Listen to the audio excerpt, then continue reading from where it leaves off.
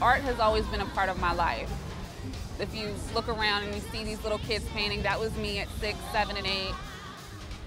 I primarily do portrait work, so I hope that they see beauty and vibrant colors and I feel like I try to evoke the, the spirit of the individual that I'm painting, so I hope they feel some type of emotional connection to my work. What brought me here was Albus Cavus, a Washington, D.C. arts collective, um, because of the work that I've done um, in Anacostia with murals and um, arts education for youth.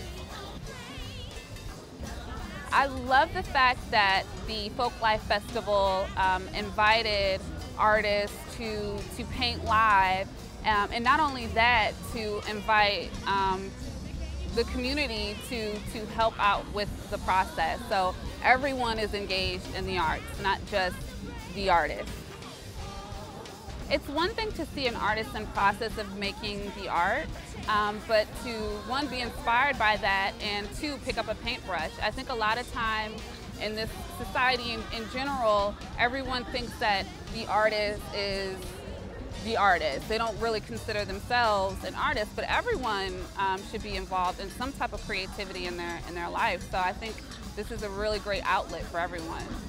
I think that it's important for um, Anacostia to be represented in the Folklife Festival um, because it's, it's a part of Washington, D.C., and it's such a, a, budding creative area.